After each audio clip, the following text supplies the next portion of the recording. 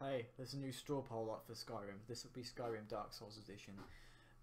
In accordance to playing with Legendary difficulty, all enemies in the game will be given a 100% buff to all of their attributes. This, this, this includes damage, health, magicka, magicka regeneration, health regeneration, damage regeneration, damage of their spells and everything. This will be Skyrim Dark Souls Edition, but I will be able to choose my stats, my stats at the uh, uh, at the beginning.